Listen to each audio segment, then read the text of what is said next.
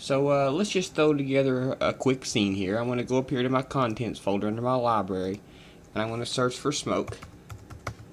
It's going to have this smoke clip here. That's the one I'm looking for. I'm going to apply it. Okay. Now that I've applied it, I'm going to go up here and get my square mask tool and I'm going to make a mask. Like so. Now we just have this one little portion of our mask. Let me open my timing pane. You see my timeline. Now you can see my smoke clip. What I'm going to do is I'm going to select it and hit Command D and duplicate that. Now I have two. You can't tell it because one's laying directly on top of the other. Now when I say duplicate masks, you'll notice when I duplicated the clip, the mask come along with it. Okay? So what I'm going to do now is I'm going to go in back up to my content folder and find the bubbles. And let's see here. This is pretty neat bubbles there. We'll use this bubbles rapid right here. So what I'm going to do is, since I've already duplicated the smoke footage, I'm going to take this rapid, this bubbles rapid movie, and drag it right on top of that smoke copy, and it's going to replace it. As you can see, that replaced it. Now, what I'm going to do is, I'm going to select my rectangle mask on my smoke, and just drag it down. And this ensures that my masks stay the exact same size. I'm going to put it like that right there. I'm going to duplicate my water clip just like I did my smoke clip. Select it. Command D. Now we have our water copy. Now I'm going to go back up to my contents folder and look for fire. And here's the fire we're looking for. Let's see if I can find it. There we go, the full flame. Let's take it and do the same thing. We'll replace the, the water copy with the fire clip. And that done that, select your rectangle mask and drag it down. Now as you can see we have three sections of clip here. And close that and rename it from water copy to fire. Okay, now let's go back to the beginning of our clip. Let's add some text here. Let's close up this group and we'll call it background. I'll just call it BG. Let's make another group.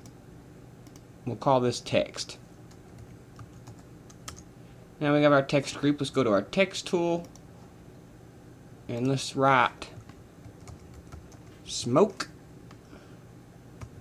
We'll go to our inspector. Let's go to our properties and up to scale. Okay. Let's go back up to select our text group again. Let's select the text tool again. And let's click in the middle of our water and type water. Now you can't really see it because it's white text. So I'm going to go to my style and change the color here to like a bluish. Like that. Now let's go back to our properties and change our scale to 218 because that's what our smoke was. I'll tell you what, let's go ahead and select our smoke, go to our text tab and let's change the color of it real quick to uh, gray. That. Okay, let's select our text group again, select our text tool, and this time we're going to write, you guessed it, fire. Okay, so let's go to our properties and increase the scale to 218 just like the others. Center it up here. Stretch her out to make it about the same width and length as the other letters, other words. Okay, that looks pretty good. Now let's go back to our text tab, style. Of course, we're going to change the color. And you guessed it, to a red. We're going to make it a dark red. We'll darken this down a little. Like so. Okay. Now we have smoke, water, and fire.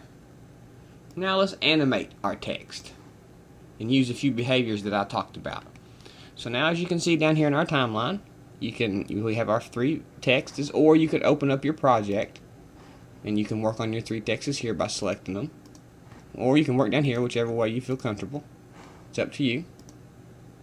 So we'll start with our smoke behavior. I'm going to pull it off to the side like this right here. Now, like I said, there's a couple behaviors you can use.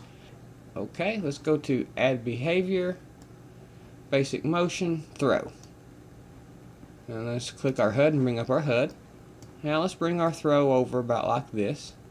This is this diagram controls the angle and direction and speed of your throw.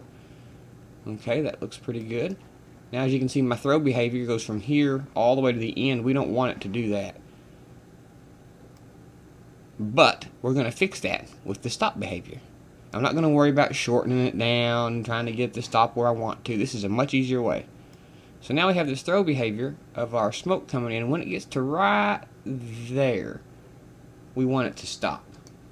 So what I'm going to do is, as you can see, I have my throw behavior selected.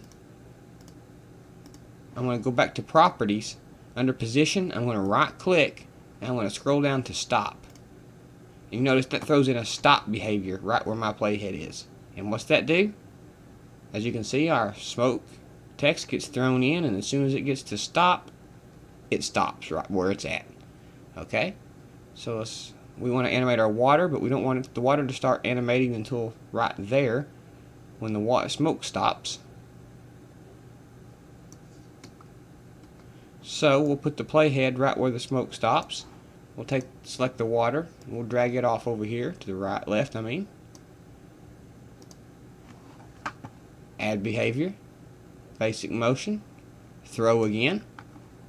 We'll bring back up our HUD. This time we'll throw it in the opposite direction. Now they're coming in together as you can see, but we don't want them to come in together, so I'm going to take my throw behavior that's on my water and drag it down to where the behavior of my smoke text stops. As you can see, the throw behavior begins where the other text stops. That way, smoke will come in, then water will come in. And when it gets right to about right there, we want it to stop. So let's go to our properties, right click position, stop. Now let's play it back. Smoke, water. Now, let's do our fire. So let's select our fire text. We'll go back up to add behavior. Now also under basic motion there's a move behavior. If you wanted to select move, you can do that. And that gives you this little crosshair here that lets you, as you can see, move your text around. So we can scroll forward. Select your text first. Make sure it's off. Oops. Select your text. Let's make sure it's off screen. Like so. Now we have our move behavior. We want it to come in right when the other one stops. So we'll have it come in here. As you can see, it's moving, but we need to shorten the behavior. So I'll click it, hit the O key, and that'll lengthen it down, as you can see. Now we need to adjust with our little controls here. Like so, you can also go to the um, position right here and strength and use the strength to adjust it. So now we have this move behavior. As you can see right here it starts. It's going to come in and it's going to move over. And it's going to stop right there. So I want to drag the end of the behavior right there and adjust it back. And instead of doing that, I can always just adjust my strength. Like so. That looks good. So that's how you use the move behavior, the stop behavior, and the throw behavior.